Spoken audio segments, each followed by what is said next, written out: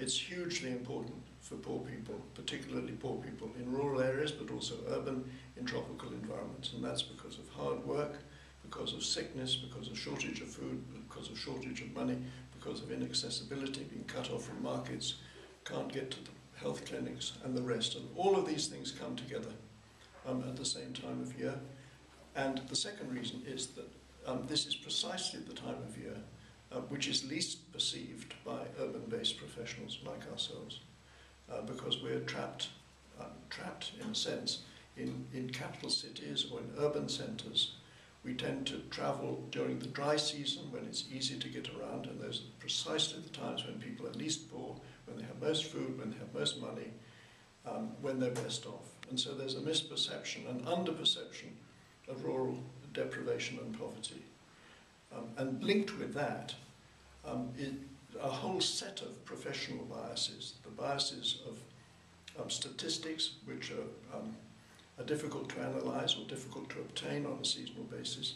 They're the biases of and the way in which books are indexed um, and what their contents are. The International Glossary of Poverty has got 27 entries under S, but it hasn't got seasonality. It's difficult to believe, but. And um, university courses, how many university sessions are there anywhere in the world on seasonality? My guess is hardly any. Um, is there's a syndrome of integrated rural poverty, and there's a syndrome of integrated uh, season blindness. Hmm. And these two interlock in a tragic way and we need to open them both up again and again and again.